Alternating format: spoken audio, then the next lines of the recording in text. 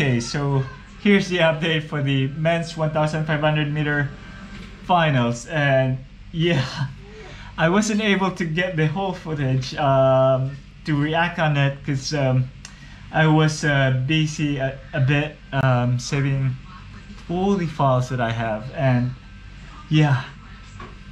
Ja Jakob Ingebrigtsen was the first one to finish second is Cheruiyot, and then third runner to finish is um, Josh Kerr of Great Britain as expected first two will be Cheruiyot and then Jakob Ingebrigtsen and we are finally Jakob Ingebrigtsen was able to receive his gold medal for the 1500 meter run finals for the men's event.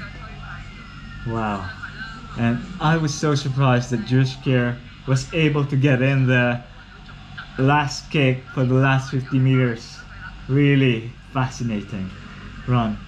So here, gold medal, Jakob.